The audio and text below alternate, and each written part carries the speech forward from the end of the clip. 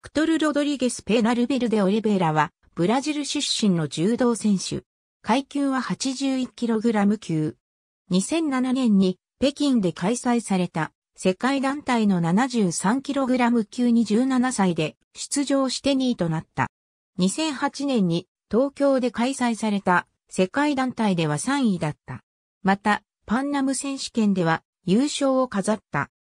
その後 81kg 級に階級を上げるものの、国内のこの階級には世界3位のレアンドロ・ギルヘイロがいたために2012年のロンドンオリンピック代表にはなれなかったが、地元で開催されたグランドスラムリオデジャネイロでは優勝を飾った。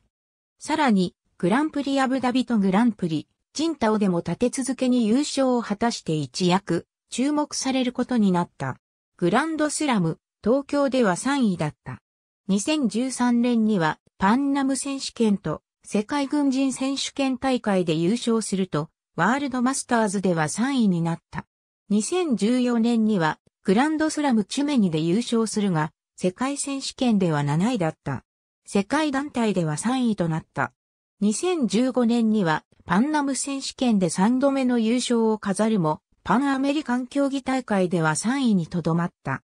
世界選手権では準々決勝でフランスのロイク・ピエトリに有効で敗れるが、その後の3位決定戦では、前年の世界チャンピオンであるワブタンディル・チリキシビリを指導3で破って3位になった。